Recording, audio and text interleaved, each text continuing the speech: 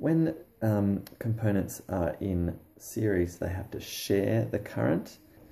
This is really important to note for a few reasons when we're actually connecting um, circuits, say in houses or in other, other places.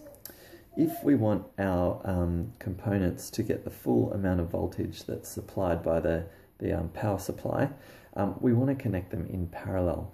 Otherwise, if we have our components in series, they will have to share that voltage, which might not be ideal for their situation.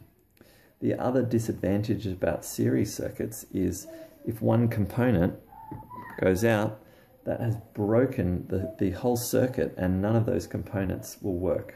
The advantage of these circuits are that we're not going to overload it if we add more components. They'll simply have to share the amount of voltage and therefore the current will go down as well. When we have a parallel circuit, as we can see here, each component can get the full amount of voltage, which is a real advantage.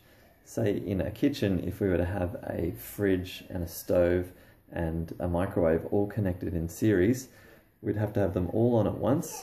If one of them was to go out, we would they'd all go out, and as well they would all have to share the voltage, meaning none of them would work to their capacity. However, the disadvantage of these series uh, of these circuits in parallel is that we can actually overload them by connecting too many components, um, and that will that can actually lead to a shortage. The other disadvantage is we also need more wires, as you can see, to connect two globes. We need four wires instead of three.